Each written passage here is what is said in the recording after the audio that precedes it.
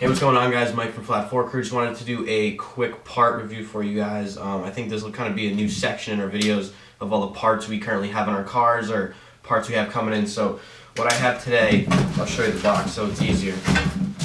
An AEM intake for a 15 WRX currently in the box, brand new. Um, kind of give you kind of a review, my thoughts of it. I'll bring the camera over and show you all the um, all the different features of this intake. So what comes in the box, open the box. Pretty big box it comes in, so. Okay, so first off, this does have the box with it. It's not like the Cobb box that it's fully enclosed. Um, metal box with the AEM little shields on the top. So it doesn't, I'll kind of give a brief description. So it doesn't cover fully the top, but it does have the rubber lining so it won't scratch your engine bay. AEM plaque there um, in this nice black metal, no rust on it, so it's fully treated. Um, say pretty, very good quality. What else is in the box? You get a nice pod filter, nice big pod filter. Um, I'm guessing it's just a rebranded K&N like everyone else's is. Pretty big. Um, says AEM on the top. I don't know if you guys can see that.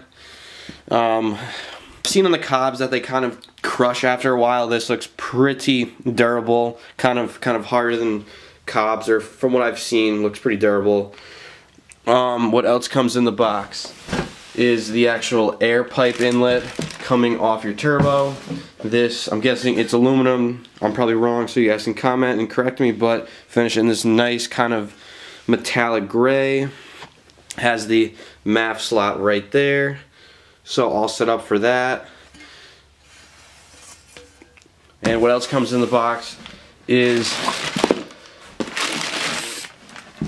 the MAF extender and all the directions. I know a lot of people are going with the Cobb because they can use it on their OTS tune. Um, I recommend to, even though the OTS tune is good for kind of temporary use, I would just get a dyno tune as soon as possible because the OTS tune is pretty wide open for most cars, so it's not really meant for uh, all driving conditions like cold, warmer.